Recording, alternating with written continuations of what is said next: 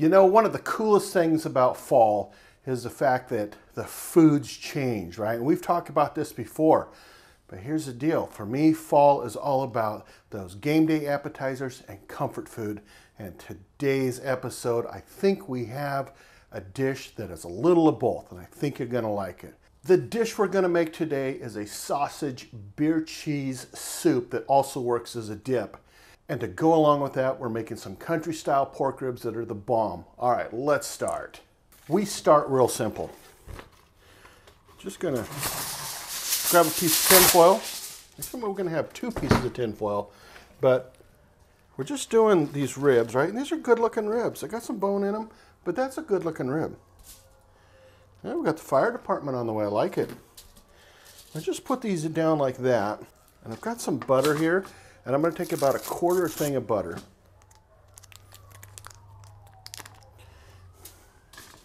Cut it in half. So it's like half of a quarter. Throw it on. Throw some salt down on this. Wrap it up.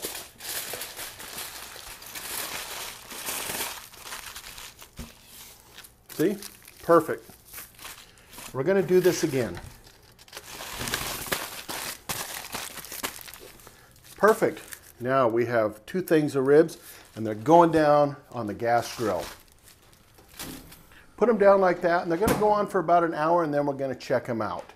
For our sausage beer cheese soup, we start with about a pound of sausage and some onions. So I'm just going to put the onions in first.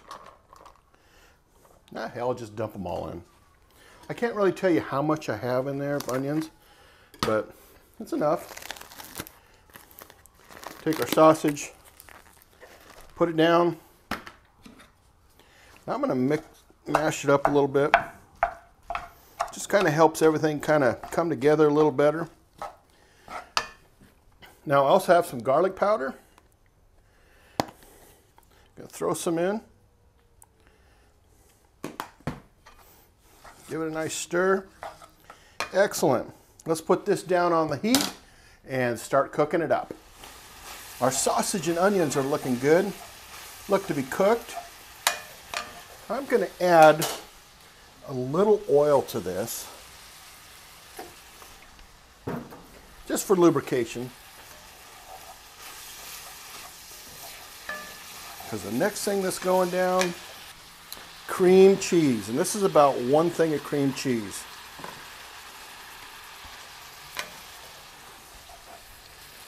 We're going to give this a few minutes because it's already at room temperature, but I just want the cream cheese to kind of just melt into our sausage. And then we're going to add the next ingredient. Well, as you can tell, our cream cheese is really melted in with everything else. We're going to add some jalapenos. And then we're going to add some green chilies. Mix them all up in there. I just want everything to fuse together. And that's the whole key to it. Just letting everything fuse together. Bye. So now I'm just going to pour in some some chicken broth. And I'm just, I've got this container of it, but I'm only going to put in about six to eight ounces. And of course, if we need more, we can always adjust. And if we have too much, we could always put flour in here. Well, I think it's time for the next ingredient because, well, this is bubbling. Pour beer in. I'm going a whole beer. Just using a light Pilsner. Now this is definitely going to have to heat up because that beer has been in the refrigerator. So we're going to let this thing kind of cook down, heat up a little bit, and then it's time to wrap it up. The next part of this is just some whipping cream. I'm just going to throw in about a half of one. And now the cheese, and we're using sharp cheddar for this. Dump a whole container in. But wait, there's more.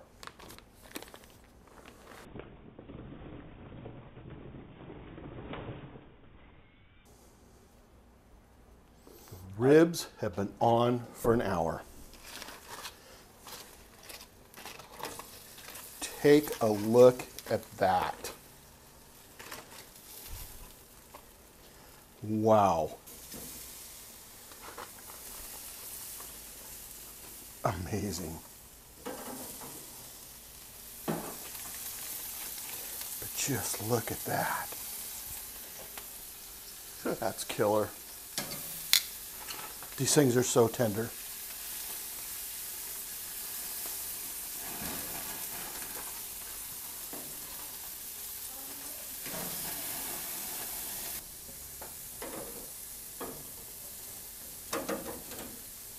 Put these down like this. Time to finish these things up. Now Mrs. Dude is just going to want hers pretty much naked like this. Yes, I said naked with some barbecue sauce. But for me, we're going with Rick's Texas Barbecue, Texas Beef and Hog, Galindo's.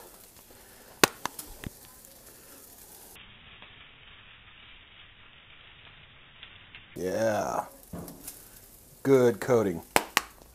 All right, let's let these things cook. Well, we're about 10 minutes into this. Let's give them a flip. Flame on. Great. Look, looks amazing. Love that sizzle. Check out Mrs. Dudes. Nice. Excellent. This is getting so close to being done. I think the next flip. All right, well, our ribs are done and our soup is done. It's time to plate these up. But before we do that, I am getting out the fine china for you guys. It's actually what my grandma calls it. She's 97, and when you go to visit her, that's what you get. I don't blame her. You know, 97 years old, I don't blame her one bit. There's our soup. And by the way, I did not have to add any flour to this to thicken it up. I just let it work its magic. But if you wanted it thicker, of course, you just add flour. Let's take our ribs off. Mrs. Dudes first. Looks awesome. Yeah, those look great. Time for El Duderino's. These look amazing. Awesome. All right, now one of the keys to any kind of meat is letting it rest. And we're gonna give this about 10 minutes because what's happening is inside of this meat, the temperature is still coming up. So we want it to just kind of let it finish its thing and then start coming down just a little bit. We went over 165. Matter of fact, every one of these pieces of meat was over 172. 165 is the minimum that you want when it comes to pork. Same with chicken. So at least that's my standard. It's been 10 minutes. Are you ready to try this stuff? Now, I'm going to try these individually first. And then I got a little cool thing I want to show you because when I made this last time, it worked out great. Zoe, get out of here. Go lay down. Thank you. Sorry. Ah, get our ladle.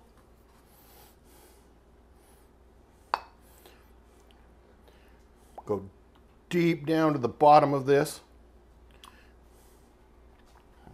Mmm. Yeah.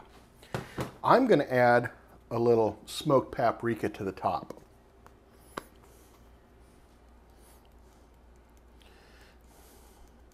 Just going to give it a little extra flavor.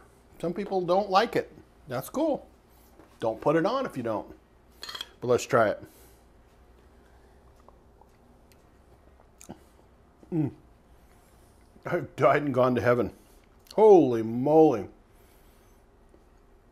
there's a place in McCall, Idaho called McCall Brewery that makes a beer cheese soup. And this is just as good, if not better. You really get the flavors out of it. You get the beer, the cheese, oh, the sausage, everything. You do, you just do. The texture is perfect. There's nothing hard about it. It's just comfort. 100% comfort. Gotta have another bite. Sorry, guys. Oh my goodness. And those onions in there. Mm. All right. Here's our country style pork ribs. That's a good one. I'm just going to tear it off. Look at that. It just pretty much just tears right apart. So I'm to take this end piece. That's awesome. Mm-hmm.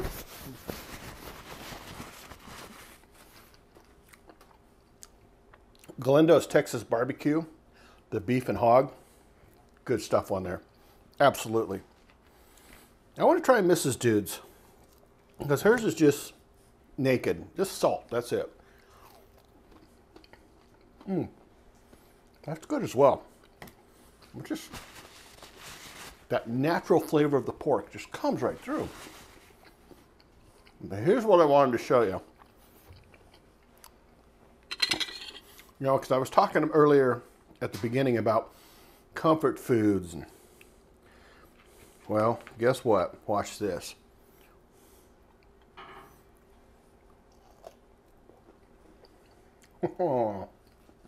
now I have died and gone to heaven. Mmm. Wow. Everything about this just works.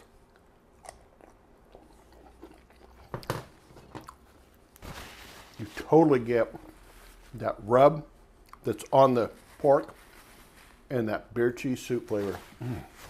Um, together when they come together, heck yeah.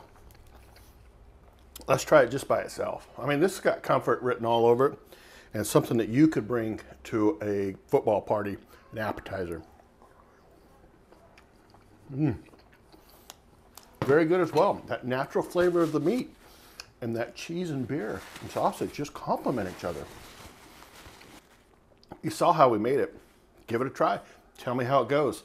It just takes a little bit of time, but I'm telling you, it's going to be so cool when you just sit back and, and go, I made that. Sometimes I have to even remind myself, dude, you made this and it rocks. Share it with the world. And that's what you guys should do too. Make something like this, share it with the world. But don't forget to tell people where you got the idea from, right? All right, guys, take care. Peace. I love you. We'll see you on the next episode.